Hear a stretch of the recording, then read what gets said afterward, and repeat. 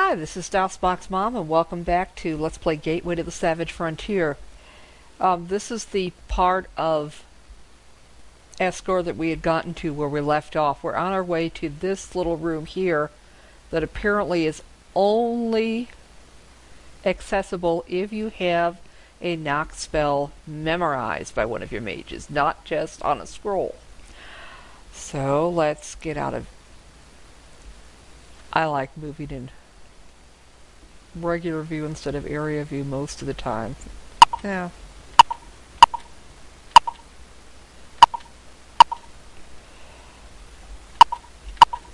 Though I admit area view does have its advantages.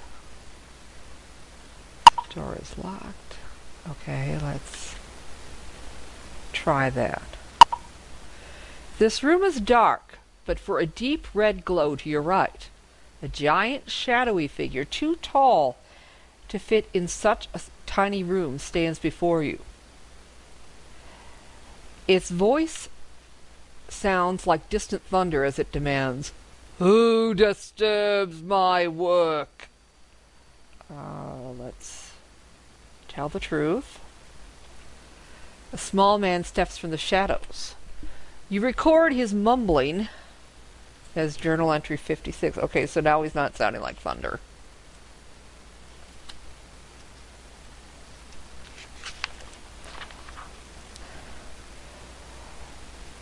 I search and search. I find the hidden. I solve the unsolvable. I find the reason within chaos and harmony from the stars. Vaalgamon has entrusted to me the riddle of the mirror maps, and they shall not defeat me. Already I've confirmed much of that of what they tell, and soon I shall give the general everything he seeks and more. He asks, Why have you come?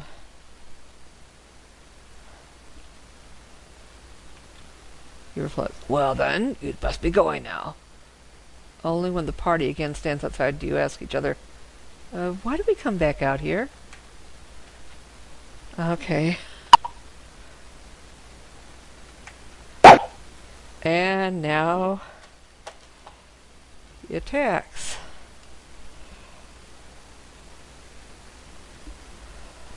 Okay, yeah, this is basically another way to get into the Mirror Maps room if you hadn't fought the Ettins before. But he does have some cool magical gear on him, so for the sake of the magical gear, we'll fight him anyway, even though we already know how to get into the mirror map room. Huh, that was easy. Just a couple of magic missile spells did for him.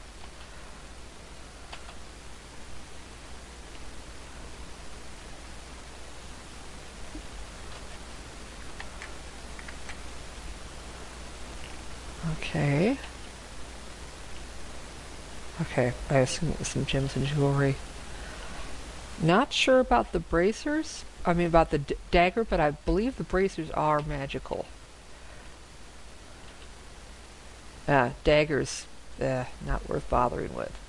But, yeah.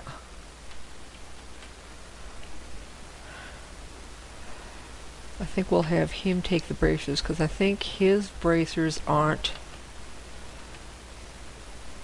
yeah, he's only got armor class 6, and I think these are armor class 4.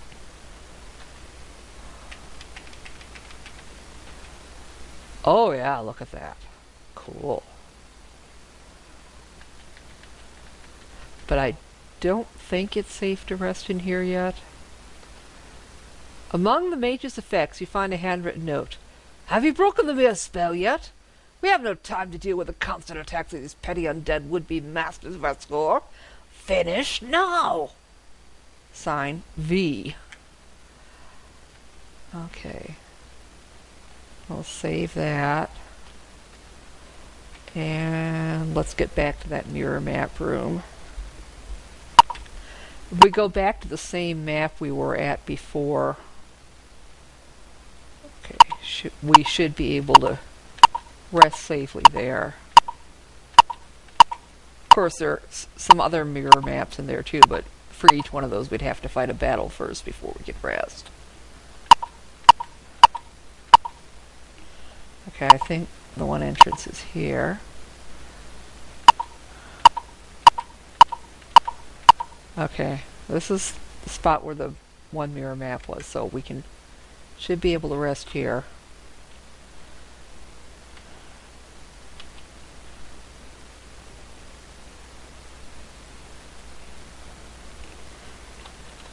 Okay, and let's continue exploring the room. Okay, we don't want to go through that door quite yet.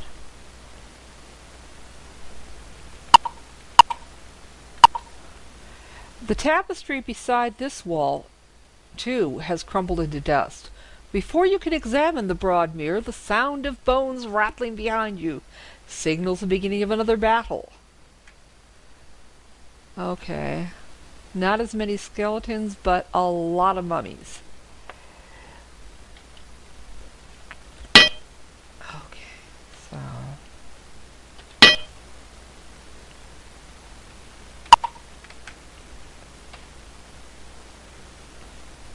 And of course, I'm going into these battles without any protective spells. Prepped.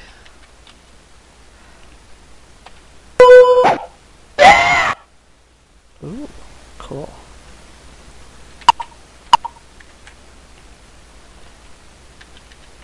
But once again, I'm concentrating attacks on the mummies since they are going to be the hardest to turn and can do the most damage.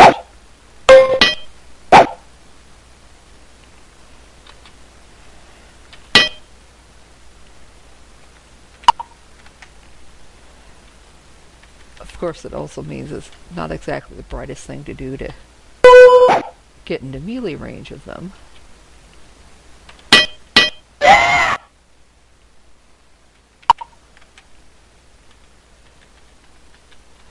But at least I can cast spells freely because I know I'll be able to rest immediately afterwards. Now, this would probably be a good point at which to switch to magical arrows. Actually, yeah, there we go. Okay, we could use up these quarrels.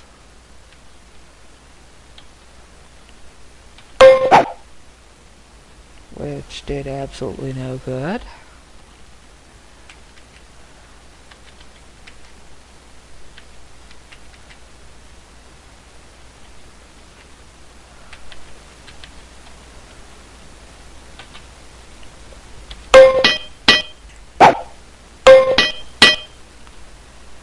Yeah, apparently regular arrows do work against the skeletons, but not against the mummies.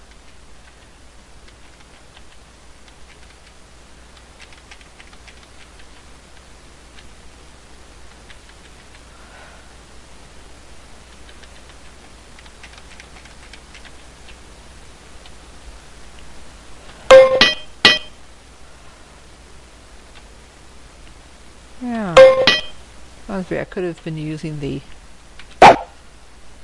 healing potions out on the streets when I ran out of healing spells. But I suspect I'm going to need them even more when I get to the east side of town.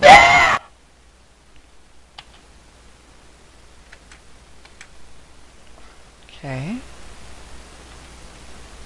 And nothing worth taking, so... Close examination of the mirror on this wall shows that it too holds the faint reflection of a map.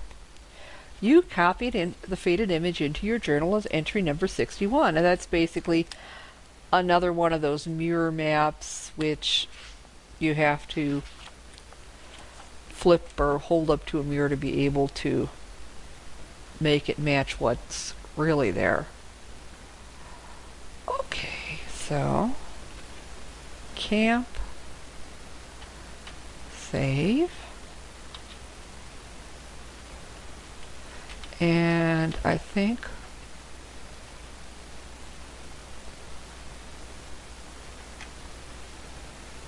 Yeah.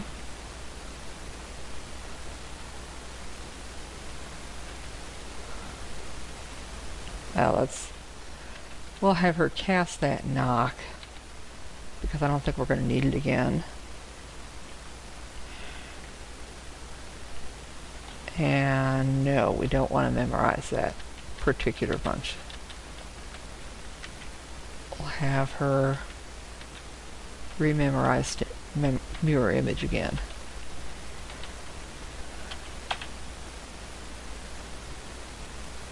There.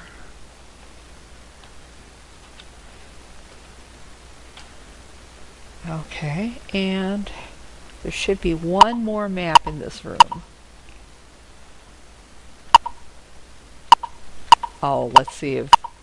Oh, yeah. This is Tour Guide Wall's twin brother here. And the last map should be here.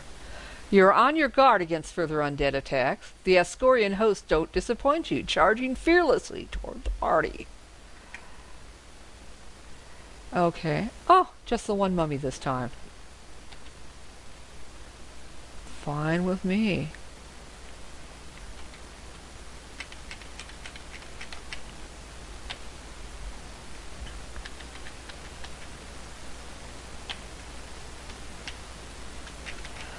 Uh, I wonder. I think this shield is a plus two.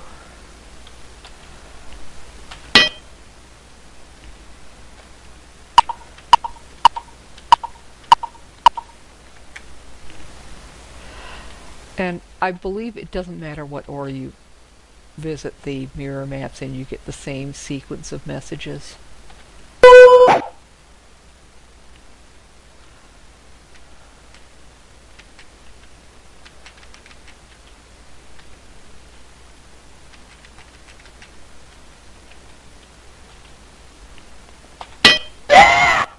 Okay. That was quick.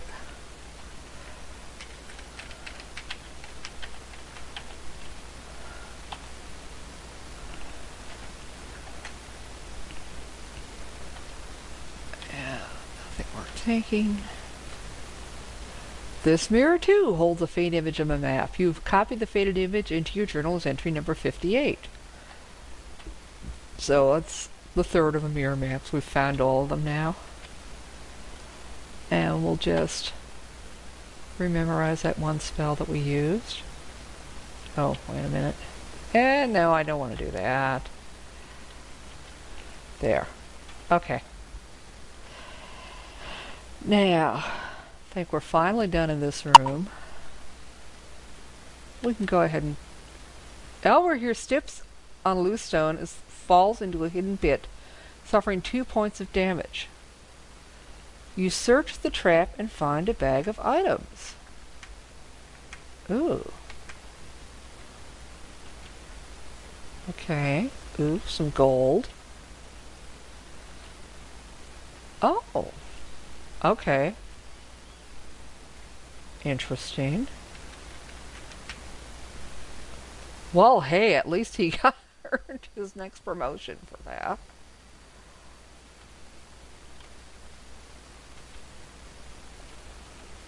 Oh, yeah. Okay, we'll have her take the scroll. And I have no idea what that sword's like.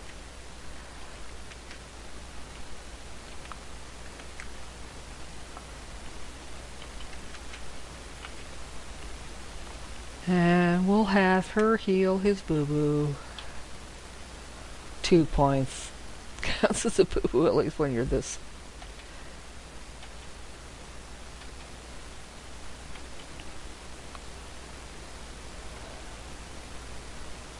Okay.